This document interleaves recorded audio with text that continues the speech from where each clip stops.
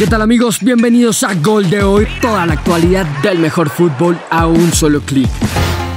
Una euro por Europa es el lema con el que hoy inicia una Eurocopa histórica, pues nunca antes se había jugado en 11 sedes diferentes. La de hoy, el Estadio Olímpico de Roma y el juego entre italianos y turcos en donde la baja más significativa es la de Marco Berratti, quien apenas ha llegado a los entrenamientos grupales tras su lesión de rodilla con el PSG. El estadio inglés de Wembley será el único en acoger partidos en cada una de las rondas, albergando en total ocho encuentros del torneo. Para la primera ronda tendrá una capacidad de 22.500 espectadores, mientras que a partir de los octavos espera poder aumentar su aforo hasta las 40.000 personas. El primer juego allí será entre ingleses y croatas, en donde los balcánicos no se arrodillarán contra el racismo como así aseguraron mediante un comunicado oficial.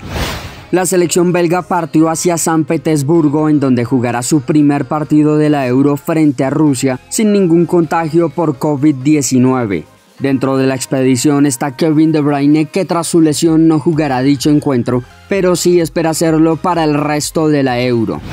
¿Puede llegar Lewandowski al Real Madrid? El equipo blanco tiene en la mira a Mbappé y a Holland, pero sus clubes han dejado claro que no saldrán de ellos. Con la dificultad que representan ambas vías, el Real entonces ya se habría acercado al entorno de Lewandowski y según esto, el polaco no descarta la opción de dejar al Bayern como informa el diario AS. Pese a esto y debido a los rumores, fue el mismo presidente bávaro quien ahora habló así. Robert es el mejor delantero del mundo tiene dos años de contrato y me puedo imaginar que siga con nosotros todavía más tiempo. Apuntó Herbert Heiner queriendo cerrar esta puerta que reiteramos, para Lewandowski no está cerrada. Tras algunos rumores que colocaban al refuerzo del Barça en el Inter, el mismo Emerson se encargó de enviar un mensaje a los hinchas blaugranas para confirmar que no se irá. Hola culés, ¿qué tal todo por ahí? Bueno, yo estoy con la selección de mi país, pero pronto estaremos juntos. Yo quiero que sepáis que vosotros hacen parte de mi sueño de infancia, donde yo quería jugar por el Barcelona y hoy ese sueño es realidad. ¿Vale? Y pronto estaremos juntos. Visca Barça y Visca Cataluña.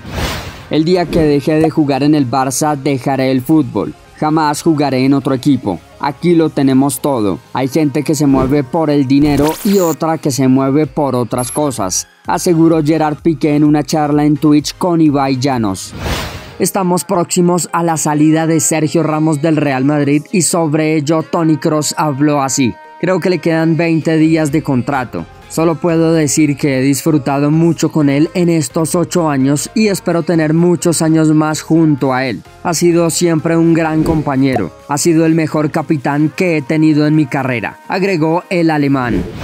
El Tribunal Supremo Federal en Brasil dio el aval definitivo para que se juegue la Copa América, pero a pesar de ello, al torneo que ha generado tanta controversia se le han retirado patrocinadores importantes como Mastercard, Amber y Diaello quienes aportarían importantes sumas de dinero, pero al final decidieron bajarse. La selección argentina espera por Franco Armani. La albiceleste a través de la Conmebol confirmó sus convocados para la Copa América y en ella se encuentra el arquero de River a pesar de seguir con el positivo por COVID. De los jugadores concentrados luego de los partidos por eliminatoria, sorpresivamente salieron Lucas Ocampos y Juan Foyt, este último duramente criticado por los partidos ante Chile y Colombia. Pues más allá de esto, las buenas noticias llegan para él desde España, donde hoy se ha hecho oficial su fichaje por parte del Villarreal.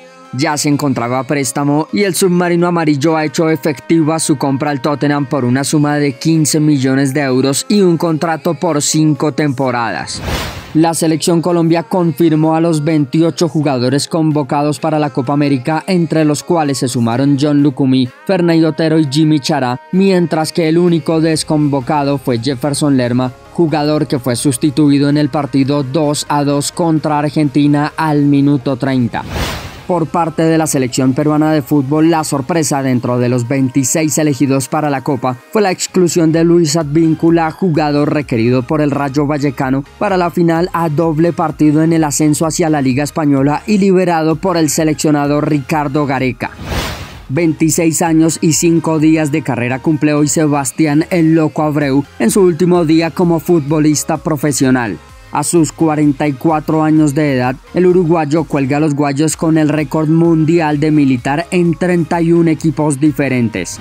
Es todo por ahora, suscríbete en el botón que ves en pantalla y haz clic en la campana gris para estar notificado con toda la actualidad del mejor fútbol. Hasta la próxima.